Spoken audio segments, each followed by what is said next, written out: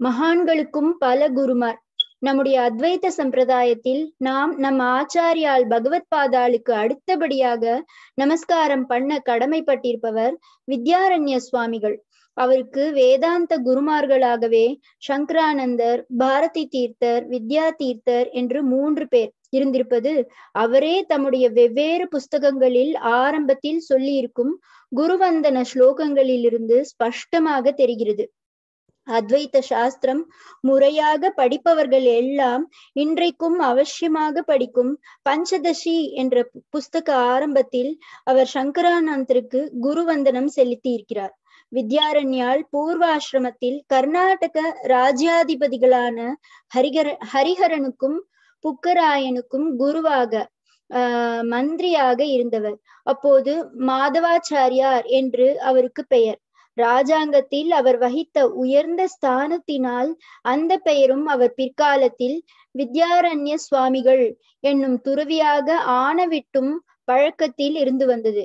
ஸ்தானத்தால் மட்டுமில்லை அந்த ஸ்தானத்தில் இருந்து கொண்டு அவர் நம்முடைய மதத்திற்கு செய்திருக்கிற உபகாரம் அல்ப ஸ்வல்பமானதில்லை ஆச்சாரியால் எழுபத்தி ரெண்டு துர்மதங்களை நிராகரணம் பண்ணி அத்வைத்த வேதாந்தத்தை முடிவாக கொண்ட வேத மதத்தை நிலைநாட்டினார் என்றால் வே வித்யாரண்யாலோ மந்திரி மாதவாச்சாரியாராக இருந்தபோது வடதேசத்திலிருந்து தட்சிணத்திலேயும் புகுந்து ஆக்கிரமித்து கோவில்களை தரைமட்டமாக்க வந்த துருக்க மதஸ்தரை முறி முறியடிக்கவும் இந்து மதத்திலேயே அத்வைத்த வித்யைக்கு மாறாக கர்நாடகத்தில் பெருக்க புறப்பட்டிருந்த துவைத்த சித்தாந்தம் வீரசைவ சித்தாந்தம் ஆகியவற்றை ஒரு எல்லைக்குள் உட்படுத்தவும் பரமோபகாரம் செய்தவர்.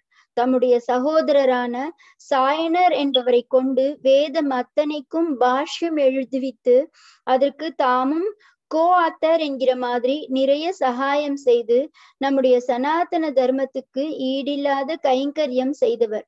மந்திரி என்பதால் மதியமைச்சராகவும் ராஜகுருவாகவும் இருந்து ஹரிஹரனையும் புக்கராயனையும் நல்லபடி தூண்டிவிட்டு வழிகாட்டி வைதிக ஹிந்து சாம்ராஜ்யம் ஏற்படுத்தி தழைக்கும்படி செய்தவர். ஆகையினால் மாதவாச்சாரியர் என்ற பெயரும் பகுஜன வித்வஜன பிரசித்தமாக இருந்தது. அந்த பெயரிலேயே வழங்குகிற வித்யாரண்யாளின் புஸ்தகங்கள் சிலவும் இருக்கின்றன.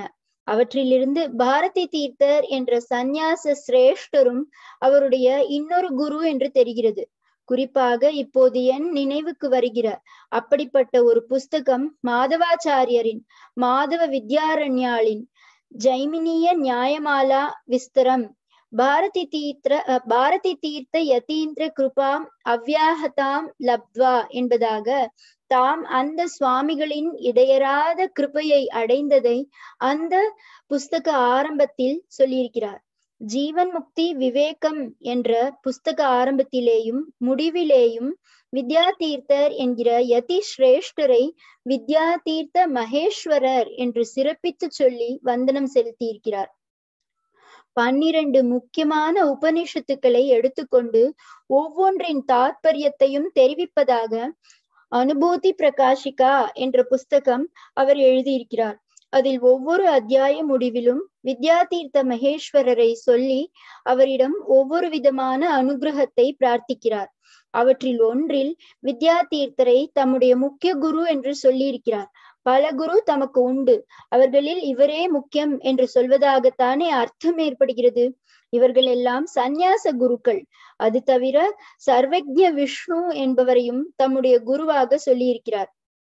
எல்லா மத சித்தாந்தங்களையும் நடுநிலையோடு எடுத்து சொல்லி அவர் எழுதியிருக்கும் சர்வ தர்ஷன சங்கிரகம் என்ற டைஜஸ்டில் தத்தாத்ரேயரோ ரொம்ப பெரியவர்.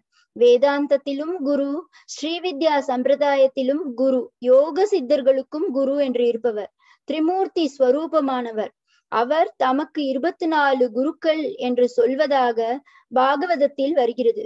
ஆனால் அப்படி அவர் மண்ணு காற்று சமுத்திரம் முதலிய அச்சேதனங்கள் சிலந்தி விச் விட்டில் பூச்சி குளவி தேனி முதலிய பூச்சிகள் யானைகள் முதலிய மிருகங்கள் வேடன் தாசி என்று நாம் யாரையெல்லாம் குருவாக சிஷ்யனாக கூட நினைக்க மாட்டோமோ அப்படி இருபத்தி நாலு பேருக்கு குருஸ்தானம் கொடுத்து சொல்லியிருக்கிறார். அந்த ஒவ்வொருவரிடம் இருந்தும் ஒரு அம்சத்தை தாம் படிப்பினையாக எடுத்துக்கொண்டு அதனாலேயே அவர்களை குரு என்று சொல்கிறார். ஆகக்கூடி அவர் சகஜமாக தமக்கு இப்படி அநேக குருமாரை சொல்வதிலிருந்து அது ச சதாச்சாரத்தில் இருந்து வந்த வழக்கம்தான் என்று தெரிகிறது அல்லவா